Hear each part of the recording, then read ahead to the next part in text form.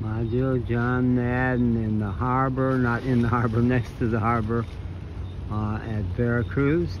One of the oldest harbors in all of Veracruz, all of Mexico, put in by the Spanish somewhere in the 1500s. And still one of the most important commercial harbors in Mexico.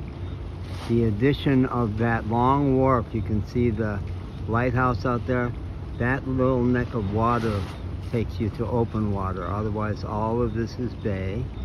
Sun starting to come up right around 6 o'clock.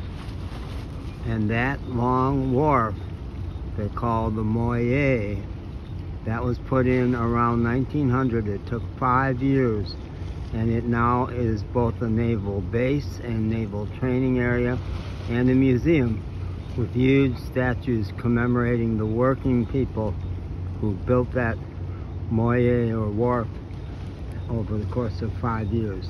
And this is the marina. And those are, I think, those are equivalent to swift boats, what they call swift boats in the U.S. John Kerry worked on a swift boat in Vietnam, a couple of Navy boats. And to get some sense of the scope, I think that's a small freighter out there to get some sense of the scale of the freighters that come in, this is a tugboat.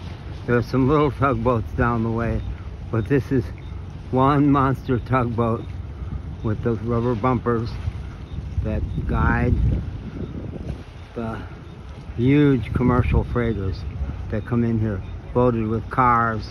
Sometimes a guy told me they bring horses in on the freighters, another huge tugboat and they call this the Malecon.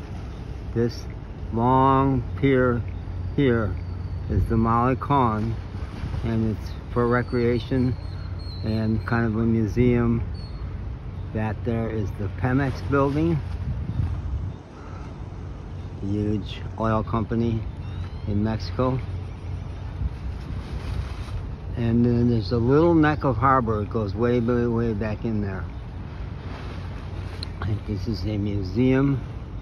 Oh, it's the residence. It's the residence. I bet that's the the commission, the officers live there. I bet.